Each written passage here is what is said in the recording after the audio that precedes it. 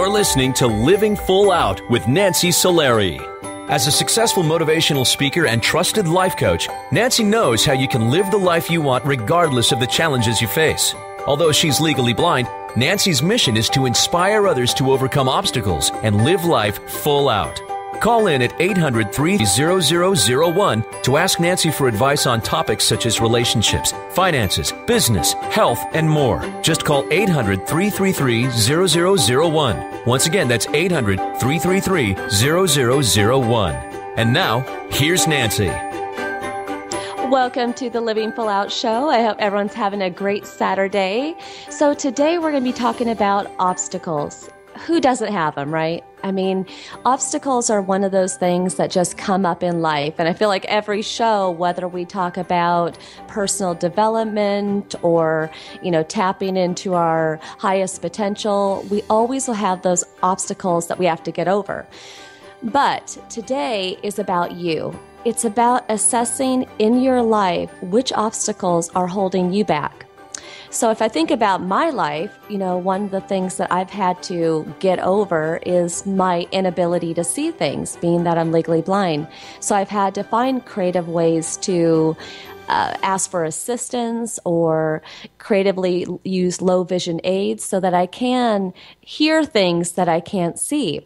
So think about in your life how can you get creative to get around, over, under those obstacles? We are going to be taking your calls. The number again is 800 333 0001.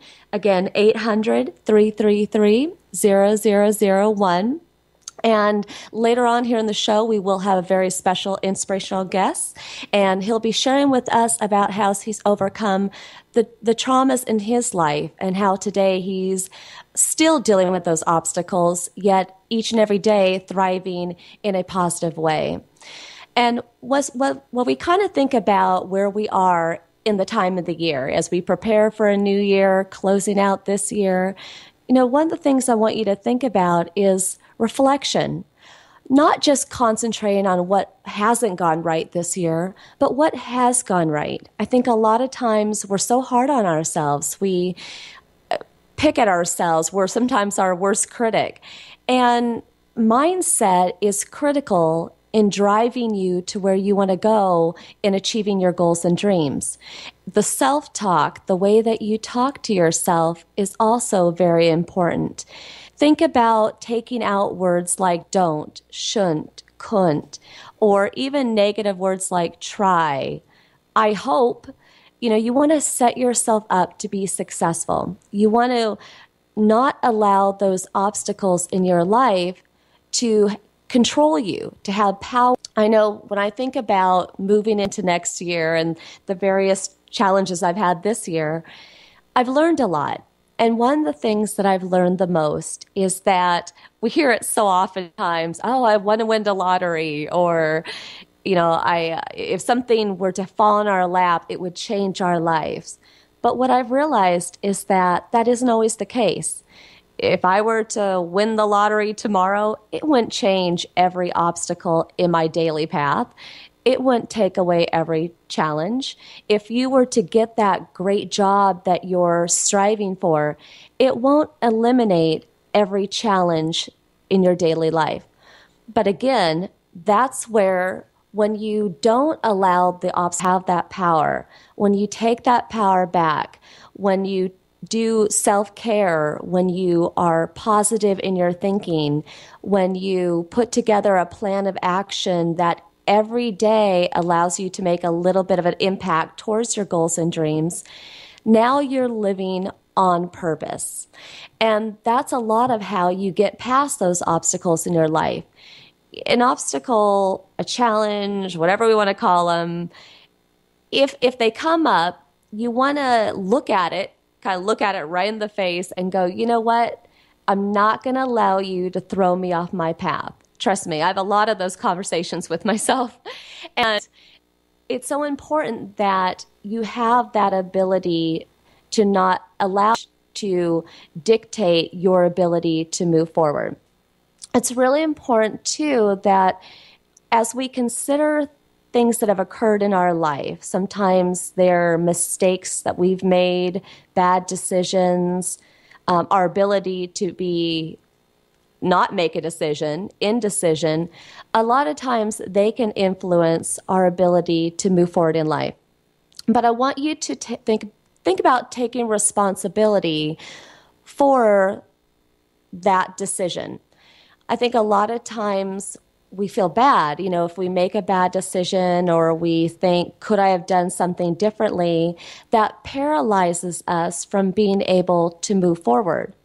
And the thing is, if, if you can allow yourself to not be so hard on yourself, then you won't have that need to to feel bad about yourself, to put yourself down, and you won't have those burdens on your shoulder. You know, there's been a couple different times in my life where I've put myself out there, I've overextended myself, and I got a swift kick in the booty, if you know what I mean. And that's okay because with those lessons, I grew stronger. And I know that for each of you listening today, you've had those similar experiences. So it's not allowing those experiences to dictate our ability to move forward, but rather to compartmentalize them, put them in a place of the past, and move forward. Now we're going to go to the phone lines. Welcome to the Living Full Out Show. Hi, welcome to the show. Hi, Nancy. Hi. Hi. So, what's going on today? I have a longtime friend who I feel isn't being supported supportive of me and my decisions about my future. We've been friends for a really long time, but I want to know when when do you think it's a time to let go of the friendship when you feel you aren't being supported? Mm, that's a great question, and in fact, I'm dealing with that right now myself. um, here's the thing: friendships, like a lot of relationships, if if you really love that person, love is unconditional, right? But at the right. same time, there are friends and family that might come in and out of our lives in different chapters in our lives. So this friend, I imagine, did you grow up together, whether it be in high school or college, or were you coworkers? No, actually, we met through our children. Oh, okay. So the connection that you had when your friendship was the strongest is is what brought you together still an, an environment that you share today? Um, no. Okay. Are so different. They're different. So when you think about your friendship today, do you have a lot in common? Um, probably is not probably not as much as we used to have in common.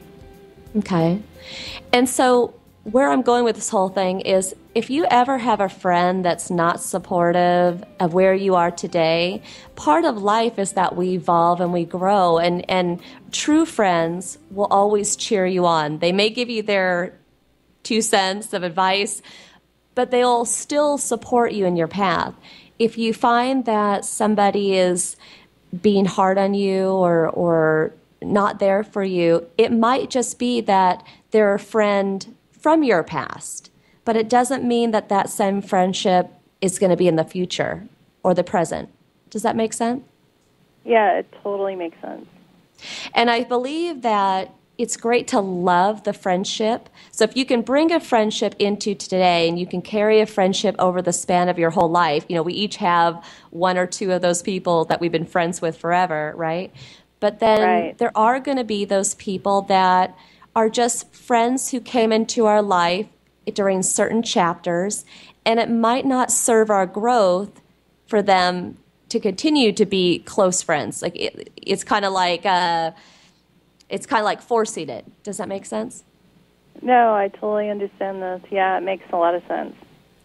And lastly, I'll say just make sure to always keep your head up high, meaning that if you've reached out to that friend and you are a good friend and you've tried to be supportive, maybe you've even asked them to be more supportive, if it's just not giving you what you need, it just may be time to wish that friend well, not cut it off, not make it a big drama of a goodbye, but just let it kind of fizzle.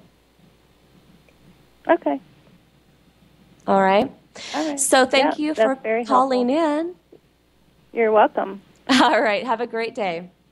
You too. Bye bye. Bye bye. So she brings up a great question, right? Uh, Changing friendships, the way that we might evolve, one friend or family member might evolve faster or slower than another. That can be an obstacle in a relationship. So that was a great question. We're going to go back to the phone lines. Welcome to the Living Full Out Show. Hi, welcome to the show. Hi, how are you? Hi, I'm good. So share with us uh, what's going on in your life. I live a pretty, you know, stressful, hectic life, you know, it's pretty much the basic school and work and family. So my question would be, how can I live a more stress-free life? You know, how to manage everything. We all want that. You know, here's the th- here's the thing. It's really important to remember what brings you joy. So, what is something that does bring you joy that makes you happy? To be honest, just being with friends or just actually sitting on the couch and watching TV trying to relax. Those There are you probably the go. Yeah. Uh, sometimes in life we overcomplicate things, we overthink things.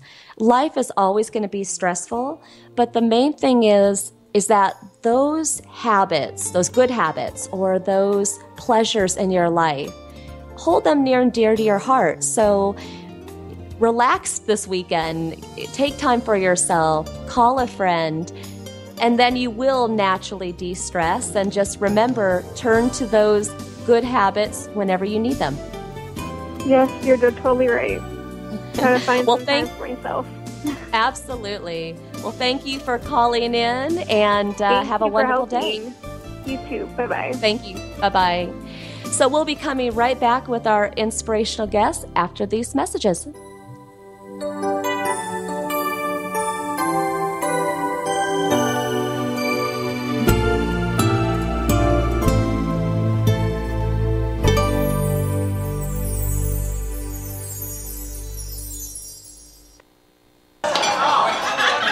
Isn't this dinner party wonderful? Jeanette and Bill did so much planning, and the house looks great. Well, you know, it was almost canceled. Did you hear that Bill was really sick with the flu two weeks ago? No, I had no idea. I've been so busy at work. But my coworker's toddler was in the hospital with flu too.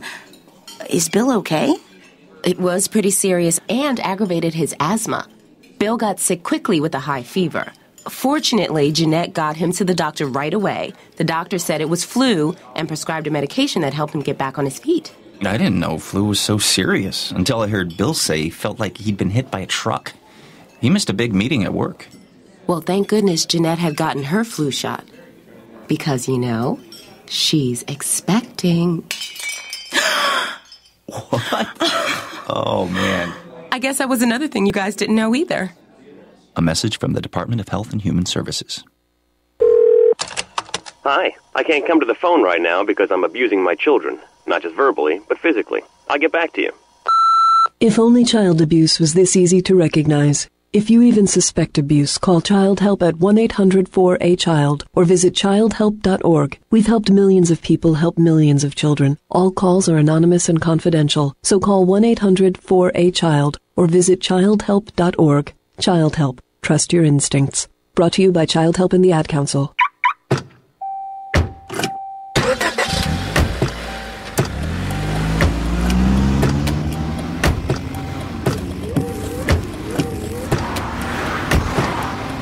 Driving has a rhythm all its own. Don't wreck it with a text. Before you get behind the wheel, silence your phone. Or better yet, designate a texter. For more text free driving tips, visit stoptextsstopwrecks.org. Brought to you by the Ad Council and the National Highway Traffic Safety Administration. Today, you hit the snooze bar. You checked your email. You checked your fantasy football team. You rejected an insulting trade offer. You ate your lunch.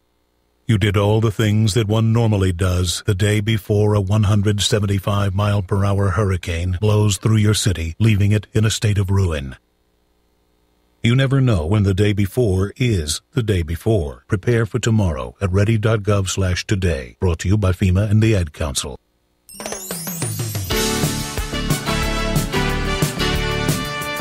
You're listening to Living Full Out with Nancy Solari. A professional motivational speaker, Nancy can help you overcome obstacles and start living full out. Call in with questions live at 800 333 0001. Once again, that's 800 333 0001.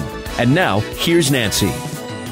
Welcome back to the Living Full Out Show. I'm Nancy Solari, and today we are talking about how to get over around those obstacles in our life. I mean, sometimes obstacles are somewhat lighthearted, still disturbing if it's a pop tire in your car or something like that. And other times it might be losing a job or financial stress. Anything that prevents us from moving forward towards our goals and dreams and thriving in life. Now, I want to welcome Arvilla Thomas because sometimes obstacles can be habits that we create in our lives, or in some cases, things that we may be um, that we may do um, that take our path, take our life path in a different direction. So I don't want to give it all away until Noah comes on, tells his story. But truly, from age 13 up until today, where he's 28, he's been on a life journey where he's had a lot of pressures, um, a lot of decisions that he's had to make in his effort to get back to feeling healthy. I'd like to welcome Noah Thomas. Hey, thank you for having me. Hi, Noah. I didn't want to give your story away because truly you tell it best. You lived Oh, it well, and you're still thank living you. it today. yeah. Um, but if you could share with our community, let's go back to when you were 13 because that's really when it all began. Can you share with us about your lifestyle at that point? Absolutely. Uh, first, I do want to say thank you for, for having me on here. Any chance that telling my story may benefit another person absolutely brings me some peace of mind. So thank you for You're that. welcome. And um, and yeah, referring to your question, of course, uh, 13 is when I found alcohol for the first time in my life, and uh, it was definitely a, a moment that that changed my life forever. And of course, as you know, not not for the better. Yeah. Now, you know, how did you get alcohol at 13? I mean, I know as a parent, you know, they always wonder how do our kids get this alcohol? And of course, you know, as kids, we're very resourceful with fake IDs and older friends. How did you get the alcohol?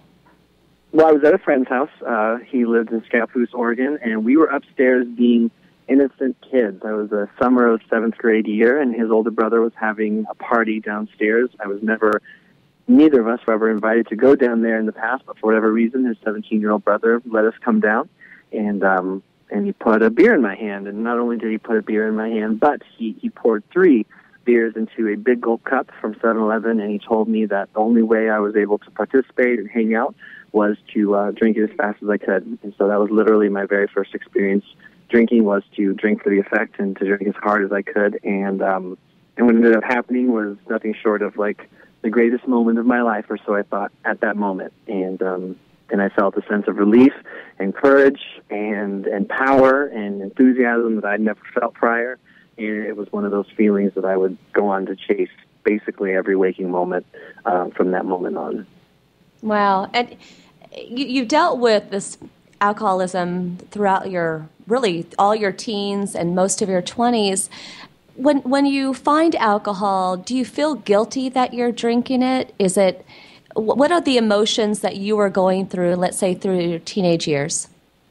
Well, through my teenage years, I didn't feel a sense of guilt because I didn't realize that I was experiencing alcohol in any way that wasn't completely normal. I truly thought I was just like everyone else, and and of course, it, you know, with drinking at the time, at least in my perception, being so fun and so consequence free, other than uh, being sick the next day, which is something I started to experience immediately in the form of a hangover, of course. But I, I didn't sense any guilt because I just thought it was normal, uh, and so even when I would get in trouble.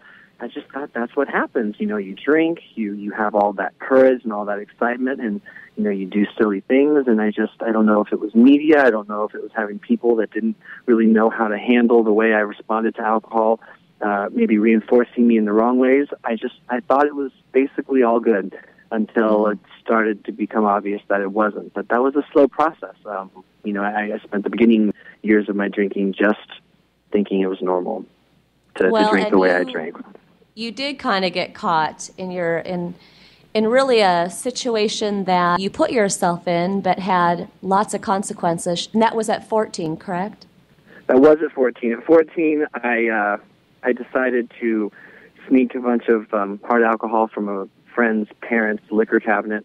And what ended up happening after that was I um, I decided to break into a local school that was near my house, and I vandalized and uh, and I stole and I paraded myself around, and I got caught. Um, you know, but I, I just I still remember that invincibility, that fearlessness, and even at the time, I think some weird part of me thought it was still maybe cool that I did that. Um, you know, I, I didn't have a very strong moral compass when drinking was involved. So now, the because you were rather popular, even the kids at school kind of cheered you on or praised you for that.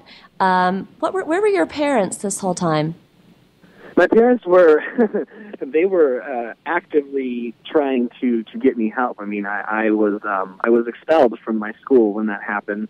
I was made to do community service the entire summer, and I was put on the tightest leash I'd ever been put on in my life. And prior to that, I felt like I'd done a pretty good job at being sneaky and being clever with uh, my drinking. Usually, they didn't know what was going on because it happened when I visited friends' houses, or more specifically, the friends in Scappoose. And so, uh, I think it was their uh, being unaware that I had the access that I did, and I, I definitely don't think they realized that that I was drinking the way I was drinking, or that I was um, behaving the way I was behaving. So obviously, getting arrested was a wake up call, and uh, and they put me on a tight leash, and that tight leash definitely led to uh, much less consumption, which led to me not getting in trouble for a while. So. But clearly, trouble found you once again. Um, oh, yeah. sh- share with me. I'm just curious in, in your teen years and in your early 20s, so many of us socially drink. And what are the signs that a friend should look for or a parent should look for? And what could someone have done to have helped you in those years? You know, that's that's a, a loaded question. It's a really big question. I want to be clear in saying that I'm I'm not a uh, an addiction counselor, an addiction medicine person. Um, but through my experience and, and working with others and knowing what I know, hindsight being twenty twenty, I just think, um, man, that's a really good question. What to look for? I guess well, now I, now, now I ask you this question, Noah, because you shared with me something that I thought was very powerful. When you drove to the police station with like a six pack of beer, hoping they would just give you a DUI, right? Yeah, yeah, yeah. I so mean, that's- we're, we're that, that was kind of a you cry know. for help. Oh, oh, a huge cry for help, a huge cry for help, and and we're we we're fast forwarding big time to go to that moment because um you know it took a while to get to that sort of desperation because I, I didn't realize I wanted to stop or I needed to stop, um and I didn't realize I was having a response to drinking. You know, I'm looking back though, and I think one thing I can say for sure is that when someone who who is an alcoholic finds alcohol, inevitably there, there is no telling what's going to happen after they take their first drink, and I think it's one of those things as a parent you can start to observe. Um, you know, if you if you notice that your child is suddenly struggling with school, or or suddenly struggling with uh, following rules, or suddenly becoming disinterested in basic life activities, you know, a lot of us have escapism in us. We we want to feel better. We want to fit in. We want to be social. I think that's the role alcohol played for me and for a lot of people. Um, you know, and so I think it's for an individual, especially when you're young. It's just it's really hard at that age, but can you identify that you know you're drinking for what reasons are you trying to to seek out alcohol? And i definitely knew that i was seeking it out because it made me feel better. Um and when i didn't have it i didn't feel as good. I always wanted to feel better. And to that effect building into what you said uh, it led me to my very first time wanting to get sober when i was 19 because eventually I wasn't doing well. You know, I got out of high school and I went to college, but I went there to party. I didn't go there to study. And suddenly my friends were going there to study, and I was the one who no longer cared about that. I was maintaining appearances. And so suddenly my self-esteem took a hit. Uh, my mood started to take a hit. I started to deal with anxiety, and it became a little less, um, and a little more difficult to deny that, that I was drinking very alcoholically, and it made me very insecure. And so I did try to get sober, and I failed because I, I wasn't willing to uh, do anything other than just try to not drink. Which, if you struggle with alcohol or drugs, it's very hard to just take away someone's solution because that's what alcohol was for me. So I took away my solution. I didn't replace it with anything positive, anything that could drive my life anywhere with value. And eventually I relapsed and that became my story and things got worse. And so that led to driving to a police station after drinking 12 beers and, and uh, parking out front and trying to decide if I would start honking my horn or maybe drive into the side of the building or do something to get me arrested because deep down I was uh, pretty afraid of myself and afraid of the path I was taking. You know, and it's interesting because you clearly had loving parents. You were well admired in school, and obviously, the taste of alcohol, you know, really resonated with you, made you feel invincible, made you feel good.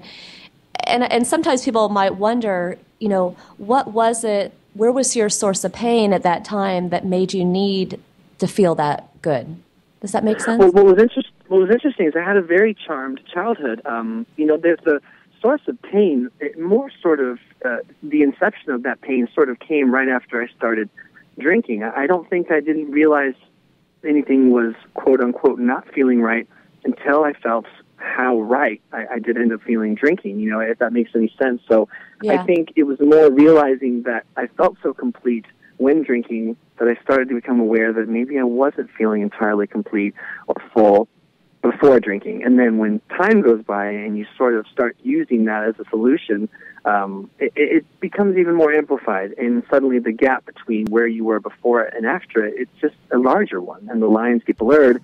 And now I don't really have a great sense of identity without my drinking, um, or I start living between drinks. And I don't think a lot of us uh, realize that that's happening to us when we're drinking. I think when you're young, a lot of us just think we're having fun. We're just having yeah. fun and then well, we don't realize when the fun stops, you know? Right. Well, your story gets a bit more intense, which we'll save that for for our next break. So yeah. we're going to be coming right back with Noah Thomas. Thank you, Noah, for being so vulnerable with your story here, and uh, we'll be, be right back. Thank you.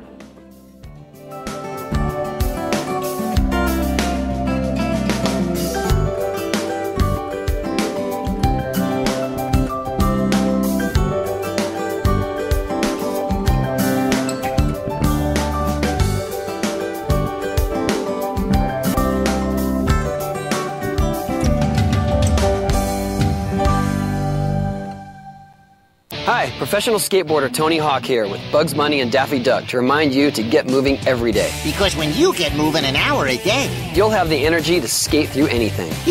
nice play on words, Doc. That's how I roll, Bugs. So whether you like to work the half pipe, now that's catching air, kick the soccer ball around, or dance in your room, just move it your way for an hour a day. The way you like to move, as long as you're moving. Carve out some time every day and get active. Because it's time to do a 180 on what you think exercise is. Because it can be whatever you want it to be. So be a player. Be a player. Get up and play an hour a day, Doc. Check out how to be a player at letsmove.gov. Head online to get tips on great ways to get moving every day. At www.letsmove.gov. Let's hear that one more time, Doc. That's www.letsmove.gov. A message from the Ad Council and HHS. I want to change some things. I want the moms where I live to have childcare they can trust. I want to make sure my little brother and his friends have a safe place to play. I want to help more kids graduate from high school. Help more hardworking families learn how to budget and save. I want more of my neighbors to have access to health care. Want to make a difference? There are so many ways you can. Help create opportunities for everyone in your community. I want to change what I see around here. United Way is creating real, lasting change where you live by focusing on the building blocks of a better life education, income, and health. I mean, I just want to see more smiles on my sidewalks. Reach out a hand to one and influence the condition of all. Give, advocate, volunteer. Live United. For more, visit United Way at liveunited.org. Brought to you by United Way and the Ad Council. You're listening to Living Full Out with Nancy Solari. As a trusted life coach, Nancy will help you overcome setbacks and embrace all life has to offer. Call in with questions live at 800 333 0001. Once again, that's 800 333 0001. And now, here's Nancy. Thank you again for joining us. I'm Nancy Solari, and this is the Living Full Out Show. Uh, we're continuing our conversation with Noah Thomas. He's been sharing with us about at 13 how he started drinking alcohol and how that developed into his love for it and and really how that impacted his life and, and be, becoming an alcoholic. Um, no, I'd like to welcome you back to the show. Thank you. Hi. So, thank you for sharing with us about your early years and, and how all that's developed for you. But can you share with us about that epic night where really you were trying to get clean and, and, and go through rehab, but really things took a turn for the worse? Yeah, absolutely. So, um, you could recap my entire early 20s of, of me trying and failing to control my drinking, which is very hard for an alcoholic to do, is control drinking. And I think I always assumed that if I tried hard enough and I cared enough, which I thought I did, that I would be able to control it. But um, I started to have more anxiety. I started to feel more depressive feelings. I certainly didn't understand why that was because I thought I had so much to be grateful for. And uh, I started to run the risk of losing the few things I did have that mattered to me, like the relationship I was in to the woman who's now my wife uh, the job that I was barely keeping. I had already dropped out of college, but I had a few things that sort of glued together my identity. And I went to rehab, um, self, you know, inflicted. I took myself there, and I got out, and I was ready to do it different. But um, but I still didn't see this to surrender to my my drinking problem, and I relapsed. And so that final relapse at 25 uh, led me to this opportunity to take this medication that was supposed to help me with cravings. It's called Vivitrol, and it's a naltrexone injection, intramuscular. And what you do is you take this injection, and it puts a ceiling effect on your receptors in your brain so that you cannot uh, get drunk in my case. And so they thought that the doctor thought this could help you. It could take away cravings. Maybe this could be the change you needed. Um, but uh, unfortunately, I had a paradoxical reaction to this medication, a very rare 0.05% chance type of reaction, and it spiraled me into a very severe, very dangerous clinical depressive order, uh, disorder, excuse me, with uh, agitation, anxiety, and a little known condition called depersonalization, which is this feeling like you're in a dreamlike state. Hmm. I mean, I can't even imagine. It's like tr- trading alcoholism for now depression, and and how did you handle that time of your life? I mean, I, I truly, I truly barely handled it. Um, if that makes any sense, I, mm-hmm. I, I think more I connect with the idea of surviving it. Within 30 days uh, of taking that injection, I'd had more panic attacks than I'd ever experienced in my entire life, which was zero prior to that. I lost almost 30 pounds because I couldn't eat, um, and I became severely suicidal. And I'm someone who looking back, I was dealing with some mild to moderate depressive symptoms and anxiety, but I think I had shame about that because I thought I didn't deserve to feel down. I had such a blessed childhood, loving friends and family. What did I have to be depressed about? Well, now there was a legitimate, uh, a severe chemical imbalance going on in my brain, and I just survived, you know, and everyone had to learn on the fly. My fiance, um, my, my parents, my friends, it was basically how do we keep Noah alive, and it was a learning uh, process, and we didn't do it perfect um, but we pulled it off. You know, I had to move back in with my parents. I immediately got psychiatric help. Um, I ended up getting a form of shock therapy. But uh, after a few months into that, I was so suicidal and so uh, verbal and vocal about it, and, and I, I was so um, unsafe that I got put into a psych ward. And that was when I found a book written by a man named Douglas Bloch called When Going Through Hell Don't Stop. And it was uh, one of the first times I had realized that maybe someone else on earth had possibly experienced this level of depression. Hmm. So that book, you read it, and what breakthrough did it give you? How how did you change your mindset?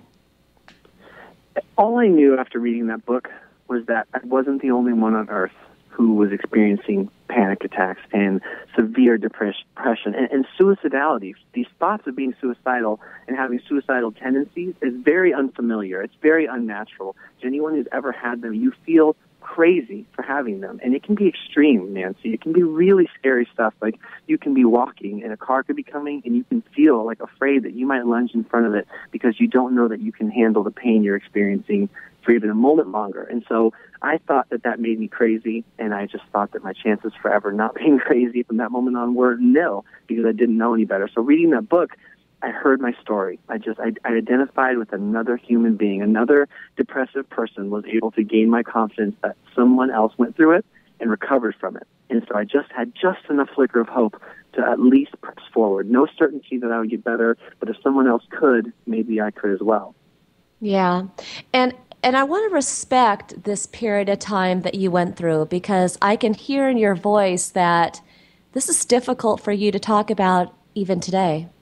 Oh yeah, absolutely. It, it it's one of those things you never forget. Um, I try not to use it as a negative way. I try to process some of that anxiety that it gives me just thinking about it.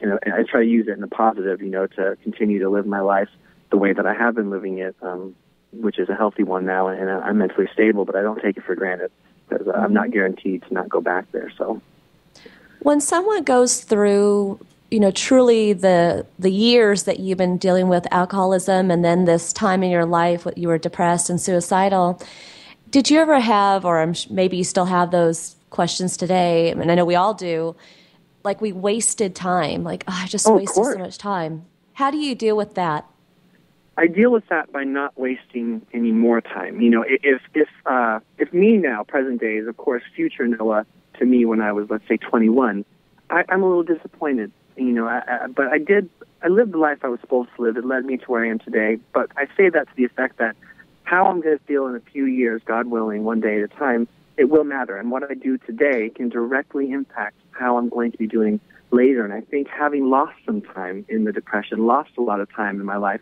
with the alcoholism, very uncomfortable years, it makes me value and appreciate every moment. I mean, I can I can take action, big or small, every day that will matter. It will impact, and I think it's understanding that compounding effect now that gives me a, a better sense of completion as a person going forward. Because before, I thought I had time, and I thought I was invincible, and I didn't realize I could be vulnerable to such dark parts of this life.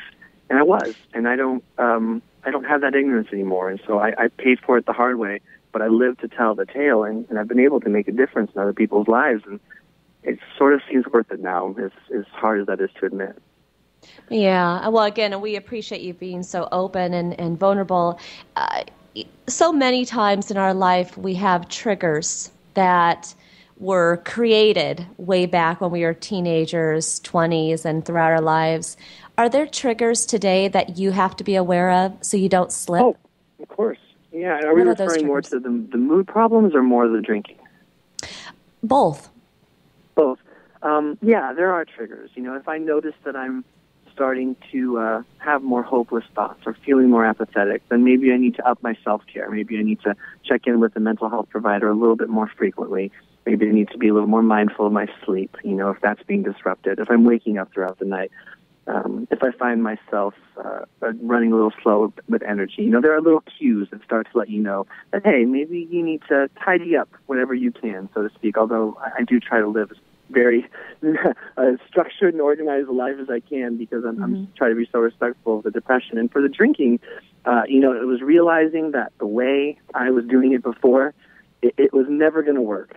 I, me running the show would never, ever work for my particular case. I, I just don't have what it takes on my own to be a successful sober person. And I admitted that. And it was this big freedom to finally realize that it's okay. You know, I don't have to be the one to sort this out. There's a 12 step program out there where millions of people have already gone through it and millions of people who are just as hopelessly alcoholic as me are, are sober and they're happy. And that's the important, you know, thing to, to note is that they're thriving. They're not just not drinking. And that's why I always got confused. So a trigger for me is I can't be around people that are drinking. I just choose not to. It's not because I judge anyone who's not drinking. It's because I can't take that risk with myself. I have too much to lose and I've been through too much to take any chances. So that's something. No matter what, I'll never be around someone drinking. I will. uh I'll walk out of any opportunity that may come my way if there's drinking involved. Like no matter what. Yeah, that makes sense. What do you? What, what advice do you give someone who says, "I'm just sick and tired of being sick and tired"? You know, I, I keep drinking. I know it's not good for me, but I like it. It makes me feel good. I'm tired of the hangovers, but here we go again every day, every day. Or maybe they've relapsed and they are feeling angry at themselves for doing so. What advice do you have for those listeners? Well, I would I would tell those listeners that they're in good company. That every single person who is lucky enough, and I do think there's a little stroke of just being like almost like you can just be grateful that you ended up sober. For everyone who's ever put together any time of sobriety, um, if you were a true problem drinker, then then you can absolutely be certain that they had never put together that time until they suddenly did. What I mean is, most alcoholics had really hopeless backgrounds in depressives, and just because you are uh, not doing well now, it has no guarantee, it's no way of dictating that you won't do well in the future. So try not to believe the voice in your head that says you're destined to fail, that you're doomed to be uh, this miserable. You absolutely can surprise yourself. You just have to leave your heart open to doing something different. If you can at least get there and admit that you're willing to do anything different, you have the same chance that I have to, to have a life that I absolutely love. And I didn't think I mm-hmm. even deserved it. And here it is in my lap. So. And through all this, what survival skill are you most proud of that you developed through all these years of, you know, torture and feeling depressed and regrets? But what positive survival skill did you develop? Survival skill, like a like a daily activity, or more just like an intuition. No, just like just like a way of coping. A way of coping. I think I just, this whole thing taught me that we as people are resilient. We are resilient people. We can overcome things that maybe on paper you'd look at and you say, I could never do that. I couldn't handle that.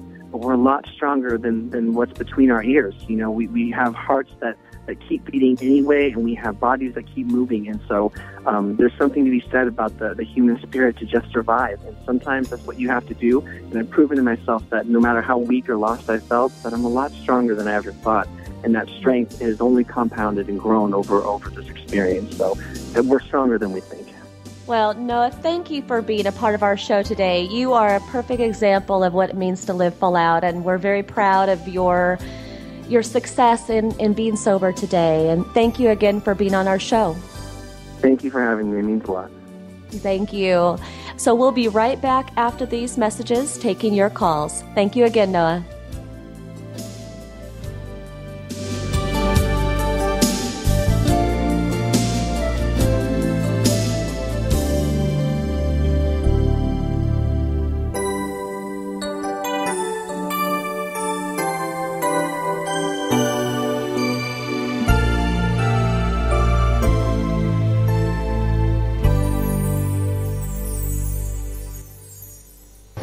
Hey, Dad. Yeah. You remember that ball game we went to a couple years ago? Sure. And how you didn't have enough cash for two hot dogs, so you walked with me on your shoulders until we found an ATM? And then when we got back to our seats, we never saw the hot dog guy again. Well, I don't remember all that. Yeah, that was an awesome game.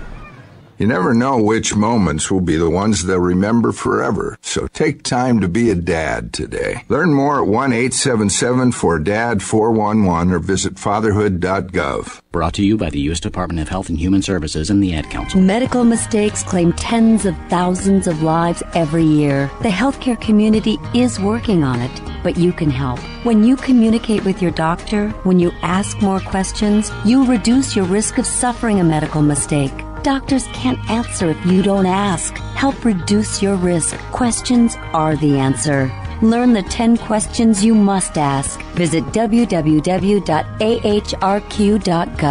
This message brought to you by the U.S. Department of Health and Human Services, the Agency for Healthcare Research and Quality, and the Ad Council. I'm getting a catcher's mitt. I'm getting ice skates. I'm getting a devastating flood. Adults are generous. We're even giving kids global warming, but we can still reduce greenhouse gas pollution. Go to fightglobalwarming.com. Brought to you by Environmental Defense, the Robertson Foundation, and the Ad Council. There are many sounds in your daily life.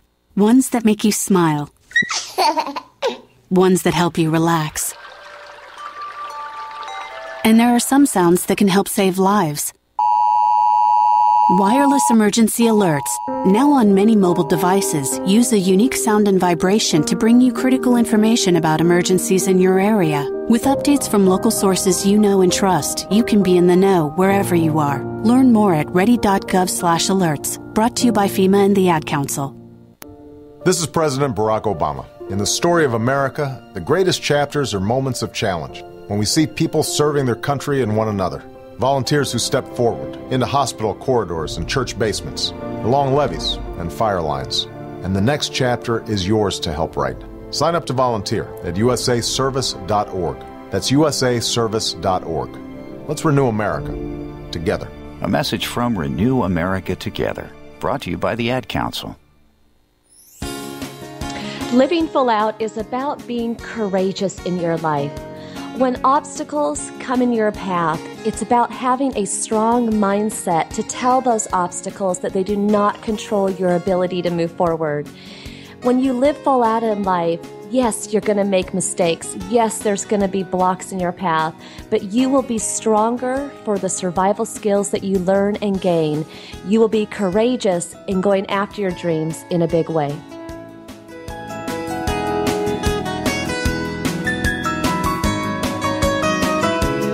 You're listening to Living Full Out with Nancy Solari. As a certified life coach, Nancy can help you to overcome challenges and start living full out. Call in with questions live at 800 333 0001. Once again, that's 800 333 0001. And now, here's Nancy. Welcome back to the Living Full Out Show. I'm Nancy Solari, and today we're talking about how to overcome the obstacles in our lives. Now, when I say obstacles, again, it might be an emotional challenge. You might be dealing with a friendship that you've lost touch with or has caused you stress in your life. One of our previous callers called in about that. It may be an obstacle is a habit that you've created for yourselves ones that have an addiction to it, such as Noah Thomas, our last guest, and his dealing with being an alcoholic and going through depression and suicide. The thing is, is obstacles come in different forms. And it's how we handle those moments in our life. They're going to come and they're going to be small, they're going to be large, they're going to be heavy, they're going to be light. And sometimes we can just handle them easily. And sometimes it's going to need the support of others in your life. It's going to need for you to get resourceful, for you to tap into those survival skills. Don't ever be ashamed when something occurs in your life to have to ask for help. I think that's one of the biggest lessons I've learned in my life is that if I need help seeing something because I'm legally blind or getting somewhere because I can't drive, I've learned to put feeling ashamed or feeling like I'm a burden aside so that I can get done what needs to get done in a day and not feel bad for it.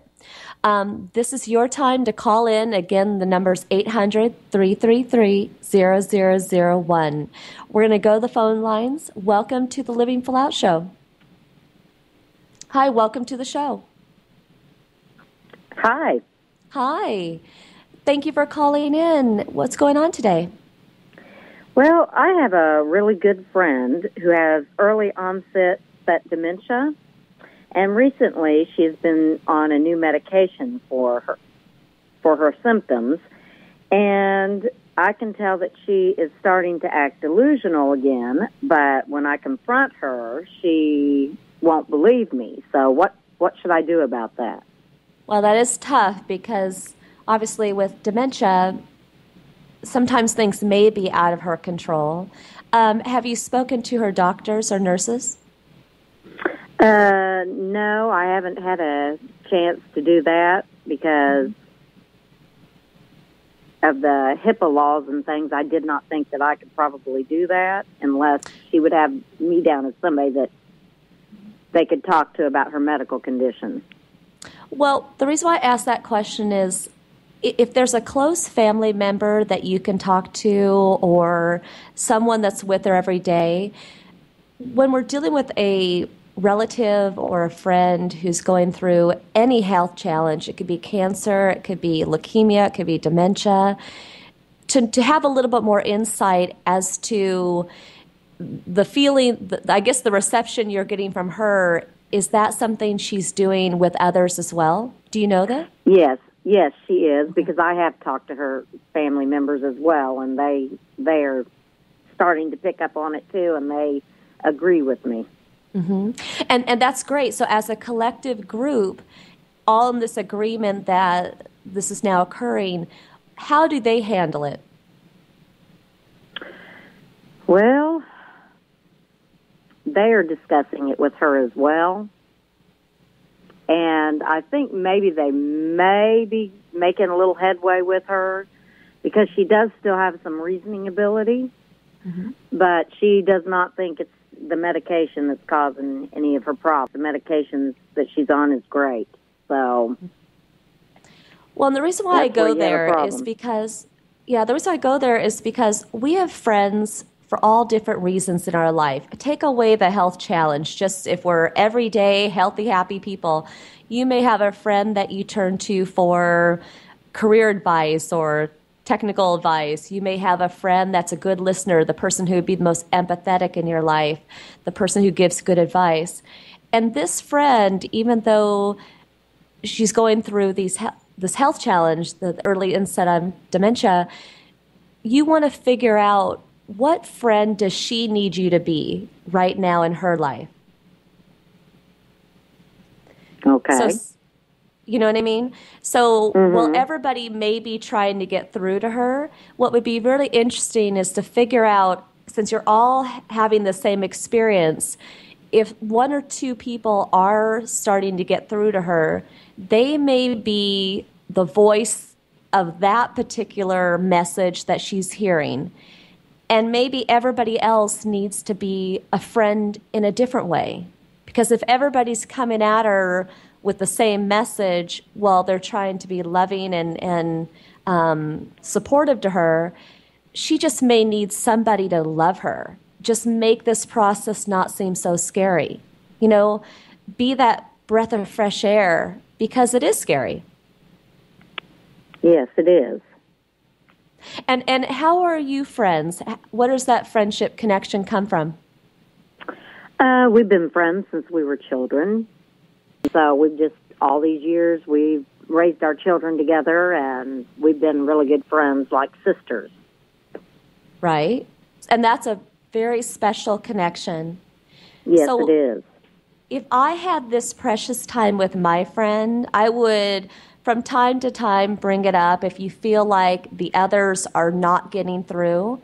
But because your friendship goes so far back and you've really grown up together and you're really hoping to have more time together in the future, I would just be that breath of fresh air. I would be that person that reminds her to keep keep fighting, to keep remembering, to to just talk about everything, help her with um, keeping her mind sharp.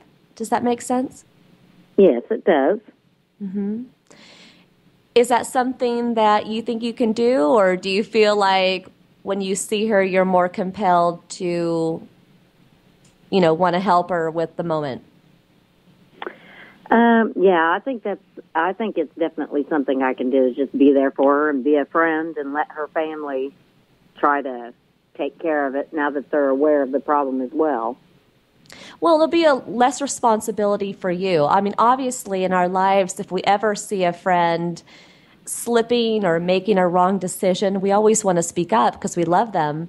But at the same time, if, if you were my friend and you came to visit me, I would just want you to say emotionally, mentally to somewhere happy. Okay. Okay. But, you know, definitely you know, keep us involved. We'd love to support you as much as we can, and I really appreciate you calling in. Well, thank you. All right. Have a wonderful day.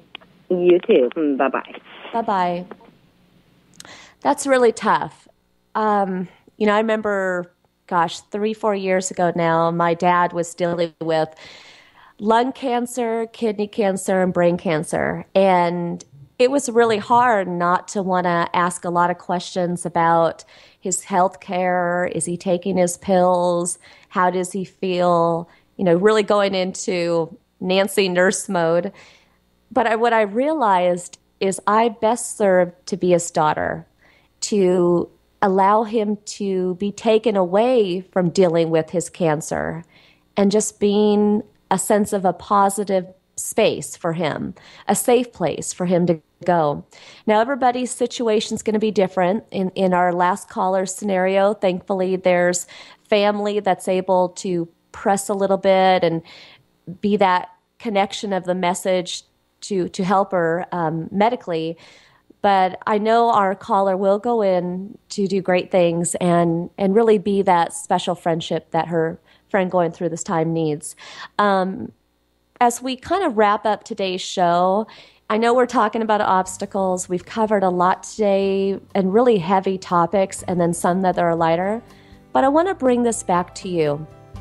As you sit here today, what are you dealing with?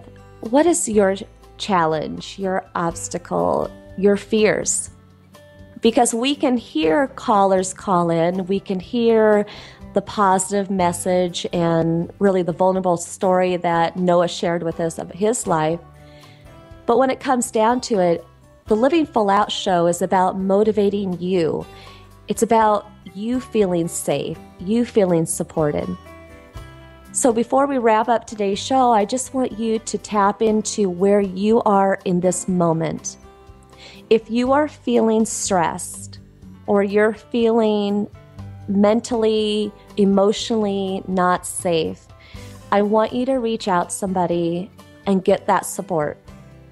Because really, when I think about the friends and family in my life, when I think about even my great production team here with me, we all want everybody to be happy. But beyond that, we want us to be safe. And so I don't want to talk about just obstacles today being a fleeting thought. These are real moments in our life. These are crossroads in our life that block our ability to move forward. So, here going forward, think about what is that block?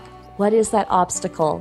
What can you do today to get support or to motivate yourself?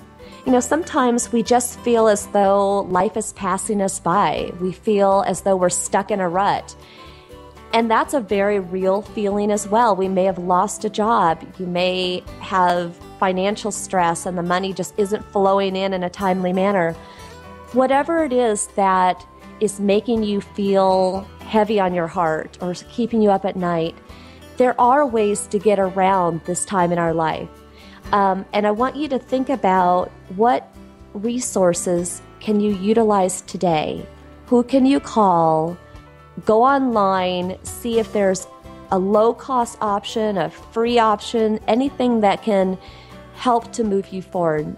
If you need support, I want you to feel free to give us a call at Living Full Out. You can reach me directly at 310 909 7800, extension 101. You can also listen to our show each week um, by going to livingfullout.com. And again, the basically the, ba- the big thing here is I just want you to know that there are books out there, our show, the friends and family in your life. We're all in this together, and it's about pushing those obstacles aside so we can live our lives full out.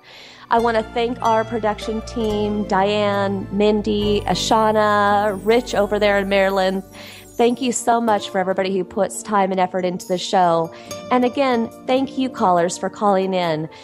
Feel free to email us. Go to livingfullout.com. We'd love to hear about the challenges that you're facing so we can build shows to help motivate you.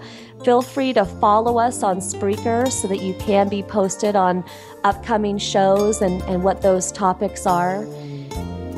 Truly, I want to thank you for listening to the show today. I want all of you to go out there today, and even if you don't do something that's a big success or accomplishment, just smile and try to enjoy life because this gift of life that we have truly is a gift.